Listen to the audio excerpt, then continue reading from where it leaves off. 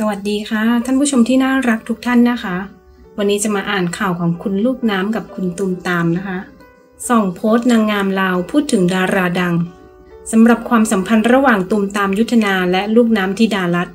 นางงามลาวที่โดนโยงว่าเป็นมือที่สามทำเลิกหญิงหญิงสารุชา ซึ่งฝ่ายชายออกมายืนยันว่าไม่เป็นความจริง ในขณะที่ลูกน้ำไม่เคลื่อนไหวถึงประเด็นนี้ โพสต์เพียงข้อความทั่วไป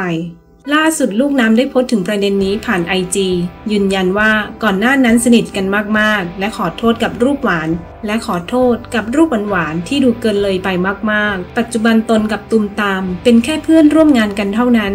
โดยระบุข้อความว่า น้ำขอใช้พื้นที่นี้อธิบายเรื่องราวทั้งหมดนะคะ เรื่องราวของน้ำที่เกิดขึ้น น้ำขอโทษที่ออกมาอธิบายช้าไป แต่น้ำไม่อยากให้คิดกันไปเอง กับพี่ตูมตาม มันเป็นช่วงเวลาที่เราร่วมงานกันและสนิทกันมากจริง ๆสำหรับรูปภาพนั้นอาจจะดูเกินเลยไปมาก น้ำต้องขอโทษอีกครั้งค่ะ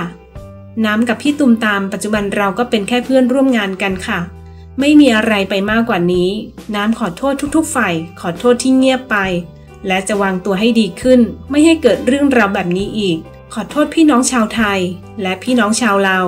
พี่ตุมตาม พี่หญิงหญิง พี่ๆสื่อมวลชนทุกท่านด้วยนะคะ ขอให้เรื่องนี้เป็นบทเรียนสอนตัวน้ำให้ดีขึ้นนะคะ ขอบใจหลายๆเด้อ